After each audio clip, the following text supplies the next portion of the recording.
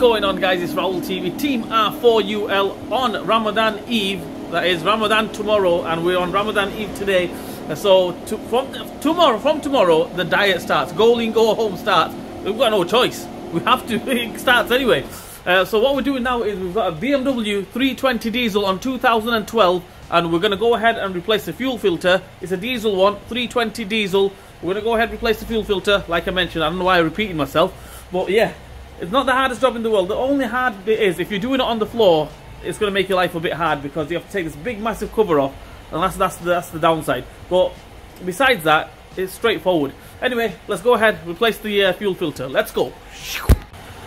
Okay, first things first, what we're going to do is we have to take this big massive cover off. So we have to take this cover off. Okay, the fuel filter lives in there. We don't need to take this cover off, the front one. We don't need to take that off, but we do need to take these screws off from the front cover, that is. So we need to take this back cover off. So 8 mil.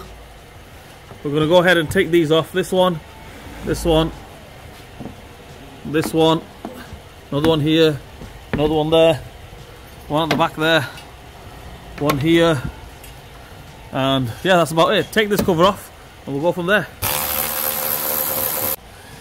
right so the next thing what we're going to do is we took this big massive cover off we're going to take this little jubilee clip off you can get a 7 mil socket or a flat screwdriver take that off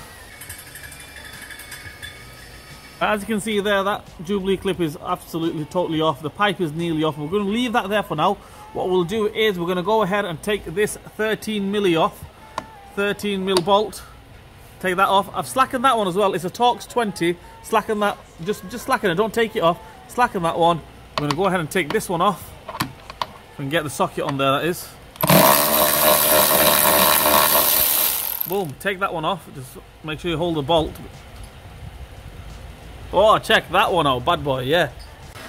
Right then, what we do is we just get that Torx 20 and just undo that one. I've already cracked it, remember, slackened it. So undo that one, take that off totally. Move that out of the way. Okay, after we've taken that off, we can just leave that there for now. We'll go to this side here. This uh, little clip, we need to just take that off. So just get a flat screwdriver and ping that off. Flat screwdriver. Sorry about the noise in the background. Just ping that off like that. Boom, there we go that comes off. All you do is just pry that little unit off, this unit here, just pry that off. It will come off eventually, just uh, a little bit of persuading, persevere. Take that side off and then we'll go ahead and take this pipe off. Or you can take this pipe off, then take that off. It's entirely up to you. Yeah, let's take this off. Right, there we have it. There's the new filter. The old one, obviously, just, just take it off. Um, you can't really go wrong just to bang it back on there. Make sure you got some seals on there. Okay, put it on there, get the clip on, put it on this side, get the Jubilee clip back on, bolt it up, finish it off, let's go. Filter is back on there. I'm trying to do this with one hand, guys. So basically, I mean, it's not rocket science. Just get that clip on there and just push it down. It will go down. It's just, I just can't do it with one hand. Uh, let me get both hands on it or get some pliers on there. Just uh, push that down. It should go down. Happy days. Let's go. There we go, that's on. Obviously, I got my right hand on there and uh, got then give it a bit of persuading. It did go on there. So there we go, that's on there. What we do now is we're going to get the clamp, get the clamp on there, measure it up to that. Okay, that bolt hole there, and put the clamp on. After putting the clamp on, we'll put this side on, the pipe on there, and that's about it. Put the cover on. Job's a good one. Okay, guys, there we go. All done and dusted. That's tightened up. This clamp is back on. That's back on with the clip and everything. Right, as for this one here, okay, this rubber, obviously you need to get it in there, okay, and uh, get the, there's a little sleeve that goes on as well. Then the 30 milli nut goes on. Uh, it's really, really hard to get that rubber on. So what, what I did is cut the rubber, so it's two halves.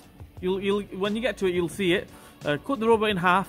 So then it's two halves, then one half on the top, one half on the bottom. Happy days, that's on, that's not going anywhere. Got the Torx 20 back on, that's done.